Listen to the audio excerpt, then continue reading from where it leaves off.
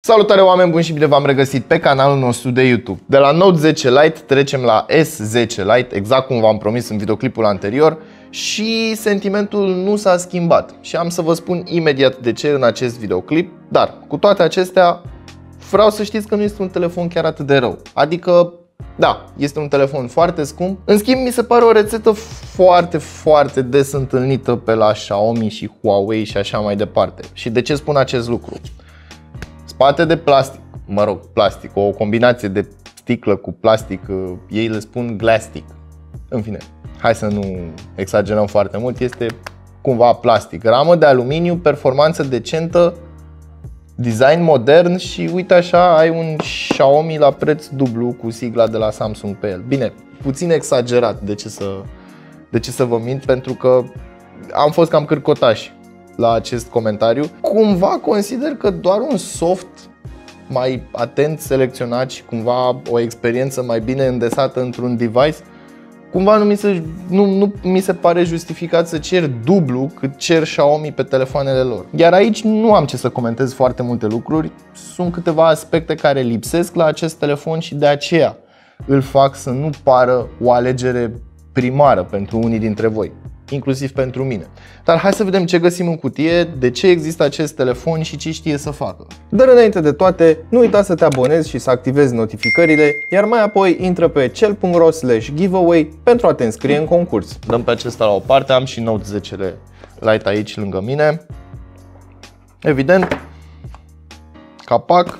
Am observat că în alte regiuni ale lumii Samsung dau și o fusă dar la noi nu avem husă, avem hârtii. În cutie avem exact același încărcător ca și pe Note 10 Lite, iar bateria dinăuntru este de 4500 de mAh. Deci ar trebui să te țină undeva la o zi întreagă. Cablul de date USB tip C, USB tip C și aceeași pereche de căști care nu are branding AKG, și este o pereche de căști modestă din punctul meu de vedere. Calitatea audio este similară ca și cu celelalte căști de la Note 10 Lite, iar calitatea audio a difuzorului din nou rămâne discutabilă pentru acest segment de preț. S10 Lite are și el la rândul lui un design similar cu Note 10 Lite A51 și A71. Pe față avem un ecran Super AMOLED de 6,7 inch în diagonală, ocupă undeva la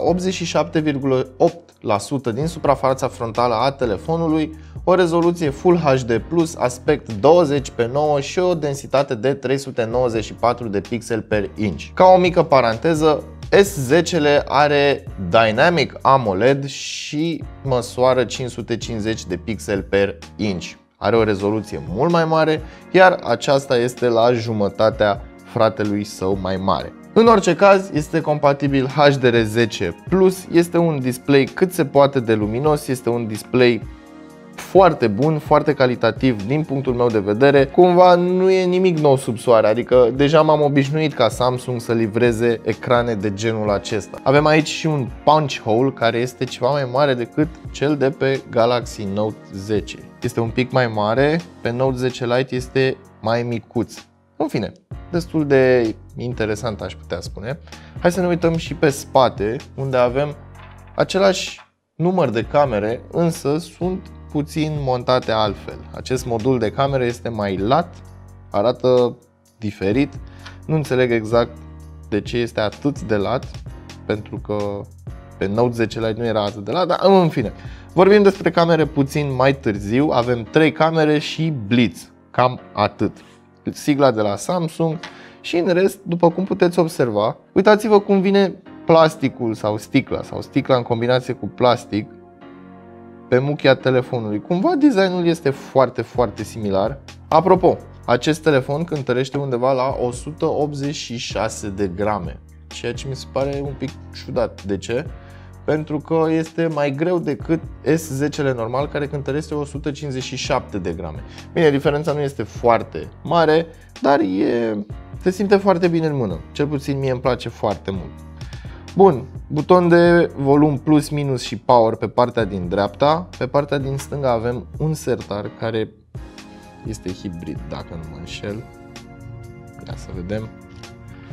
Da, este hibrid la baza telefonului.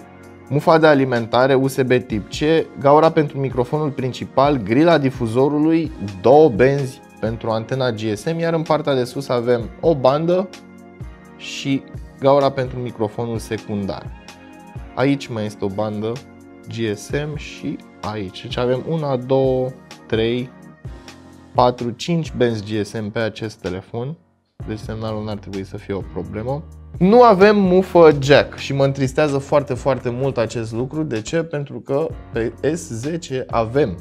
Pe S10 avem mufă jack, S10 Lite nu mai are mufă jack și mi se pare foarte interesant că avem un preț apropiat de modelul premium sau de flagship.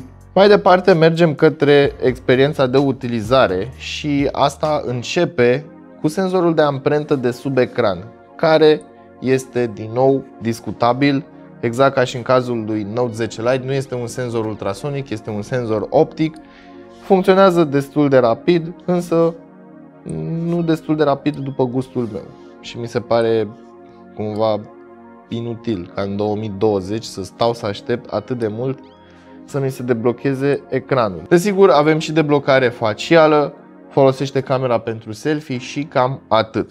Din nou, experiența de utilizare a software-ului nu este sub nicio formă alterată față de celelalte modele de la Samsung. Apreciez foarte mult acest lucru și mai apreciez ceva. Acest telefon nu are curbura aceea pe care o are domnul S10 normal și muchia este suficient de îngustă cât să nu apeși din greșeală cu partea aceasta a mâinii și bineînțeles suficient de groasă cât să ai un oarecare grip atunci când ții telefonul în mână. Este foarte confortabil din punctul meu de vedere, mai ales datorită acestor muchii care au un unghi ceva mai agresiv față de alte modele. Bine, nu vă gândiți că este foarte, foarte agresiv, dar uh, se ține bine în mână, mai ales când ții telefonul așa, ca atunci când vrei să te joci, să te uiți la un film. Evident și când îl ții așa în modul portret, se ține foarte bine în mână, în schimb este foarte alunecos. Aici avem finisaj lucios, pe spate avem un finisaj lucios și recomand o husă. Din punct de vedere al performanței, acest telefon se descurcă foarte bine, chiar dacă are un chipset de anul trecut și anume Snapdragon 855, este cuplat cu 8 GB RAM, 128 de GB spațiu de stocare intern, în schimb există și varianta cu doar 6 GB RAM. Avem și UFS 2.1, deci nu avem 3.0 și acel uh, mediu de stocare foarte, foarte rapid. În schimb, nu m-a dezamăgit. Chiar s-a mișcat foarte bine acest telefon. Hai să ne uităm și în testele sintetice. 464.805 puncte, iar aici aveți afișate și celelalte puncte la celelalte teste. În Geekbench 5, telefonul a scos 748 de puncte în single core și 2760 de puncte în multicore. Din nou, niște scoruri foarte bune. Revin la experiența de utilizare. Telefonul se mișcă rapid printre toate meniurile acestea. Câteodată telefonul ți se va părea poate puțin încet sau că ar avea lag. Mă rog, eu percep acest lucru uh, din cauza acestor animații. Adică când dau un swipe, telefonul se mișcă foarte bine, în schimb atunci când deschizi o aplicație, are acest efect de deci că e o biluță care se duce în iconiță. Cumva, nu, sincer, nu mă coafează pe mine așa mult această animație. Bineînțeles, le poți dezactiva și atunci îți va da senzația că se mișcă cu adevărat mai repede. A venit momentul să vorbim și despre camere, dar sunt curios să testez un singur lucru. Dacă merge penul de la Note pe S. Ia să vedem. Din păcate nu funcționează penul, deși ar fi fost interesant să ții un pen separat, să te joci așa cu el pe ecran. Mă rog, nu știu câtă lume ar fi folosit acest lucru, dar cu toate astea mi se pare o chestie interesantă. Hai să aruncăm o privire rapidă și asupra aplicației de cameră. Butonul de setări aici în stânga sus, setările pentru blitz, timer, aspect, motion photo sau live picture sau cum vreți voi să-i spuneți, beauty mode, iar aici avem modurile de la live focus video la more, unde găsim și modul pro. Și pe mine mă interesează modul pro, unde am posibilitatea să selectez ISO, white balance și compensația expunerii. Poftim? Nu cred. Hai mă, pe bune? La un telefon de aproape 3000 de lei îmi dai doar aceste opțiuni? Pe bune Samsung? Cu ce mai bun ăsta decât un Galaxy A71? La modul cel mai serios, dacă vă dați seama, vă rog să-mi scrieți în secțiunea de comentarii de mai jos. Chiar sunt trist că pe acest telefon, la modul Pro, nu am focus manual și celelalte opțiuni pe care le am aici, pe Galaxy Note Lite. Să-l deblocăm cu amprenta. Ia. More Pro. Ia uite aici. Timp de expunere, focus manual, alte setări pentru temperatura culorii și așa mai departe, ISO. Bine, aici le avem. Da, le avem. Și expunerea. Ok, spot, matrice, aspect, timer. Da, deci lipsesc aceste opțiuni. Lipsesc opțiunile pentru timpul de expunere și focus manual. Foarte supărat sunt. De ce să nu să nu vă spun acest lucru. Chiar sunt foarte supărat că nu avem aceste setări. În orice caz, 48 de megapixel camera principală cu Super Steady Optical Image Stabilization, 12 megapixel f2.2 camera ultra wide și 5 megapixel f2.4 o cameră dedicată pentru macro. Iar aici aș vrea să vă menționez o chestie. Gaura camerei nu este aliniată cu camera în sine este un pic așa shiftată mai într-o parte și mi se pare o lipsă de atenție la detaliu din partea lui Samsung.